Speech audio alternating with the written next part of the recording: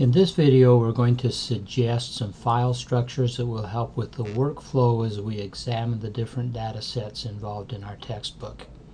In the first writing assignment we studied uh, some data from the Spurs, from one of the Spurs uh, basketball seasons and uh, we suggested putting all of that into one particular uh, folder.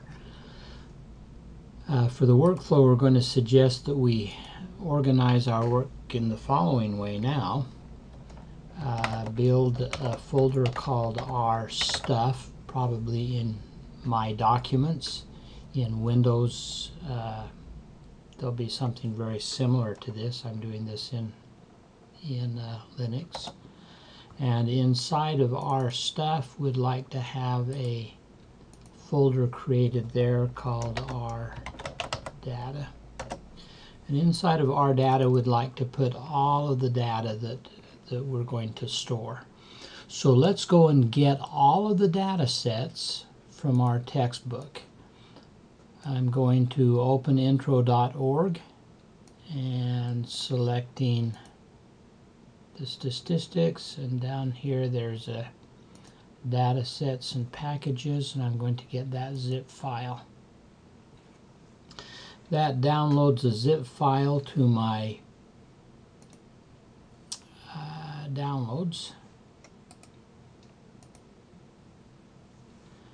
And uh, so there it is. OS2 data zip files. And I'm just going to pull that over and I'm, I'm going to move it into my my RData area this out of the way. And uh, I'd like to unzip that, whatever you need to do in your system. Usually you can just double click that and it'll give you some kind of a screen like this that says to extract. And so we're going to extract that, that data.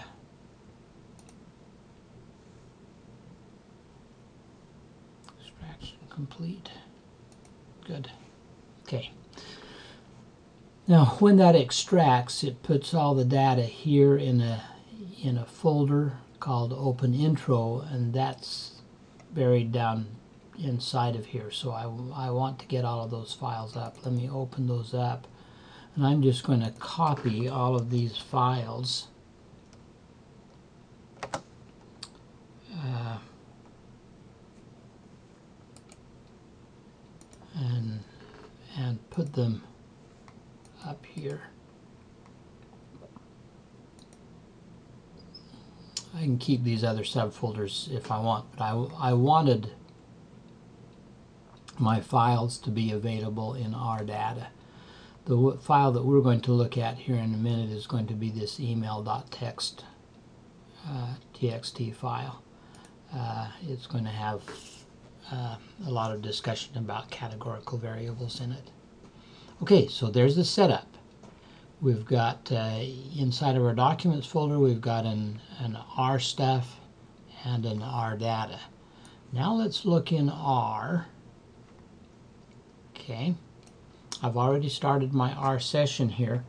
In my case, when I get my working directory, uh, I find that it's there. And what I want to do is set my working directory to be, the nice thing is I can can come here and copy that and paste it into here and then adjust to what I need it to be. I want this to be in documents R uh, stuff is where I want my working directory to be. Okay, and of course we can double check to see if that's uh, now our working directory, and it, and it is. Um, what I'd like to have now is to build a script. A script is just a text file. Uh, the Windows version of R has a very nice text editor built right in. One of the videos that we've got shows how to use that, but I will work in a more generic way. Here I've got a, a text editor in this text editor I'm going to just keep some notes about what I'm doing. Uh, set the working directory. Now that I put a hash mark here, that means that this is, is not a command, it's just a comment. And the nice thing is I've figured out how to get that done. It's this command right here. So I'm just going to copy that command and put it into to this text file. Okay. And I'll just kind of keep notes on the things that I'm doing. Now it's going to be really easy to open up this text file and grab that and and uh, and just paste it back into to R rather than having to rem remember all the details of how to get that done. So this file I'd like to uh, save that. And I'd like to save it uh, here in uh, that documents R stuff. So that's where I'm going to, to save this file. And I'm going to uh, to name this file. Oops I'm going to name this file email.r because it's the the script file for studying this email um, uh, data set.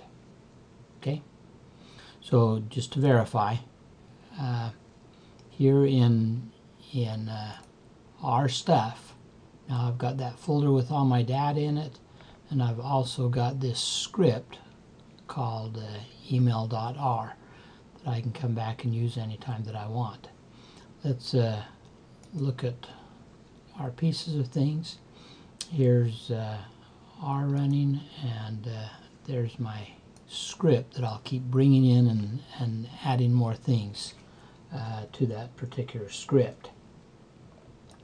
Now I'm very interested in in reading the the uh, email.txt folder. So I want to read table and here's the syntax for that. Starting that dot slash means starting at the directory that we're currently in. Now see we're in R stuff but our data is always in R data. So dot slash, uh, this will likely be a backward slash in, uh, in uh, Windows, but uh, dot, I want to go to our, our data, and I want to get the email.txt file. And there's some special commands here. I need to tell it that the header is true because uh, this particular file does have the first line is the names of the variable and I need to tell it that it's a tab delimited file so the separation is going to have to be T.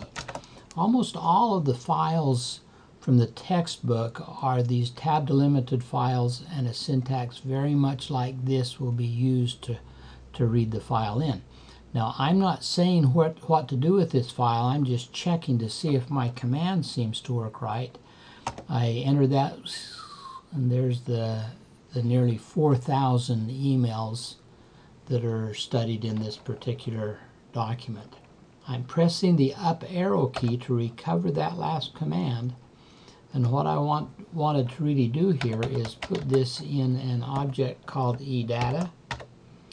So I'll put that command. This is the command that I want to save in my script file. So I'll just copy that, bring it over to the script file, and uh, make me a note here.